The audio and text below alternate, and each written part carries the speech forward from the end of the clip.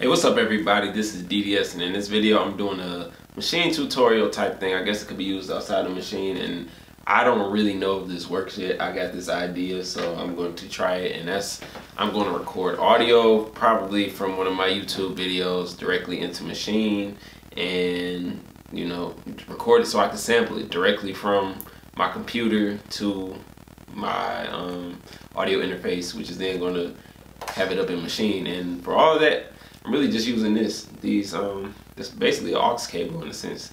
Plugging this into my computer. I have a Mac Mini, and then plugging these two into my interface. Like I said, I haven't tried this before. I really just got the idea, so hoping it works, hoping it's successful, and yeah. So I'm going to share my screen with you all. I'm going to record the audio still from this video, and then I'm also going to start the screen recording. Excuse me for that long pause. But yeah, so hope you guys find this helpful.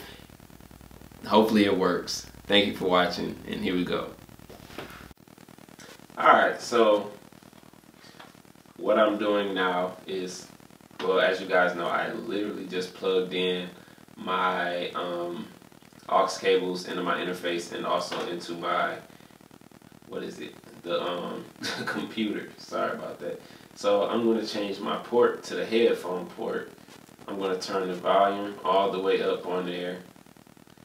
And for this, I'm going to, you know, go to my sampling tab in Maschine. I went back to Maschine. I use Maschine, but you can use whatever DAW you prefer. I'm, I'm assuming it works. Like I said, I haven't tried this yet. So, yeah, I'm just going to see what happens. I'm going to change this. Let's say I want four bars or whatever audio it is.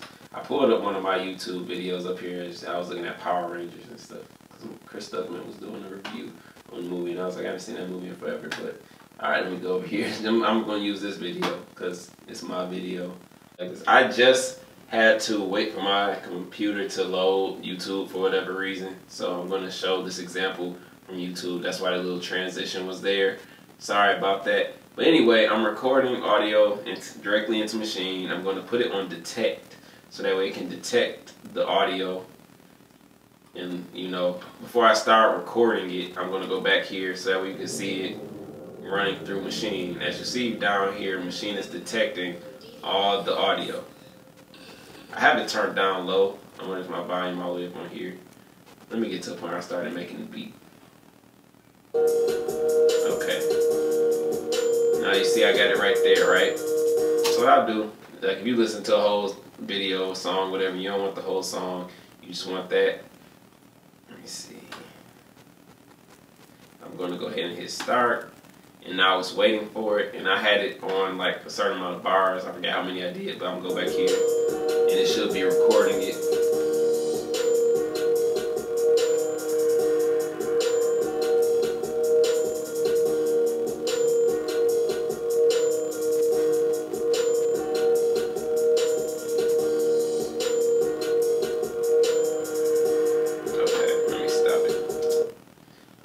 So now I'm going to go over to my Maschine just to show you that it's in Maschine. I mean, you see it right here in the DAW, but I'm going to go over, like I said, to my Maschine and show you. Alright, so I'm back over here. Oh, you can't even see my Maschine from this lens. Sorry about that, I'm using a prime lens, but just to show you guys that it's already there. It's real simple. I don't remember how I got this idea. I was in a live stream talking, but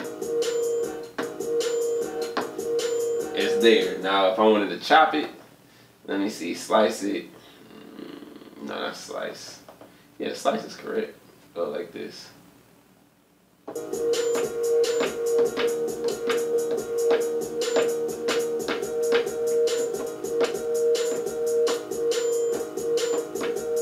Yeah, so that's how you can do that. And I literally found that out just by, you know, putting it out there like I think you could do it. And all you really need is that aux cable that fits your audio interface. And you just route your stuff right to it have it go straight to Maschine. So that's a way for you guys to be able to, you know, sample or anything like that.